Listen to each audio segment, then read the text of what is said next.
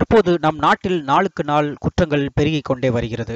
பொதுவாக கொலை கொள்ளை போன்ற குற்றங்களை ஆண்கள் தான் பெரும்பாலும் செய்வார்கள். ஆனால் தற்போது ஆண்களுக்கு நிகராக பெண்கள் பல்வேறு வகையான குற்றங்களை செய்து வருகிறார்கள். குறிப்பாக தாய்மை என்ற ஒரே ஒரு விஷயத்திற்காக மட்டுமே கடவுளைப் போல் பெண்கள் மதிக்கப்படுகிறார்கள். ஆனால் அதையே சில பெண்கள் தற்போது கேள்விக்குறியாக மாற்றி வருவதுதான் கடவுளுக்கே பொறுக்காத ஒரு செயலாகும்.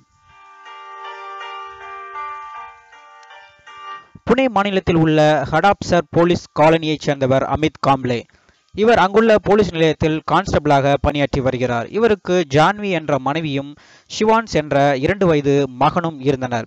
இந்நிலையில் நேற்று ஜான்வி தனது இரண்டு வயது குழந்தையை கழுத்தை நெரித்து கொலை செய்துவிட்டு தானும் தூக்கிட்டு தற்கொலை செய்து கொண்டார்.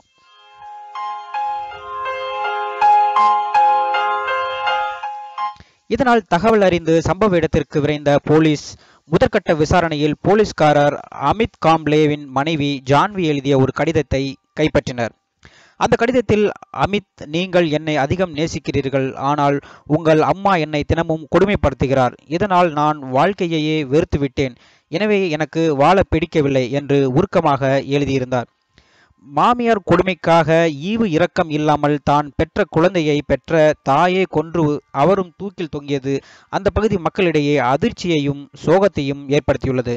இதனால் போலீஸ் அமித் காம்ப்ளேவின் அம்மா சுஜாதாவிடம் தீவிர விசாரணையை மேற்கொண்டு வருகின்றனர்.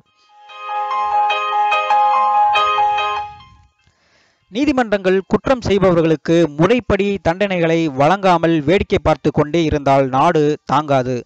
சுடுகாடாய சுடுகாடாக மாறிவிடும். பின்னாளில் உலகமே இந்தியாவை பார்த்து சிரிக்கும் காலமும் வந்துவிடும்.